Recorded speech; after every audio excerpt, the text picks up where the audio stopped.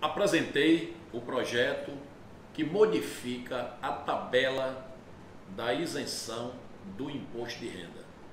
Hoje no Brasil somos 32 milhões de contribuintes.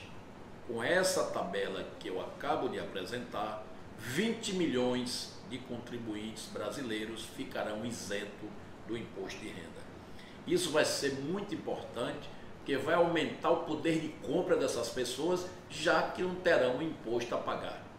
Isso vai ser muito bom. É claro que haverá uma frustração de receita para os entes federados, União, Estados e municípios, mas também estruturalmente essa perda com a isenção do imposto de renda haverá um ganho quando esses próprios contribuintes começarem a comprar nas lojas, nos mercados, que aí terão outro tipo de imposto que a tendência é equilibrar essa perda inicial com a isenção.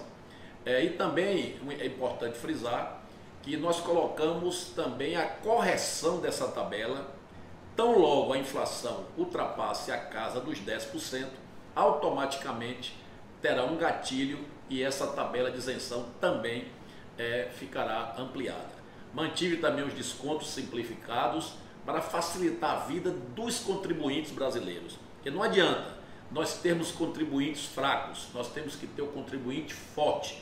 E aqueles que estarão isentos de pagar ficarão mais fortes ainda, porque vai aumentar o seu poder de compra para melhorar a sua qualidade de vida.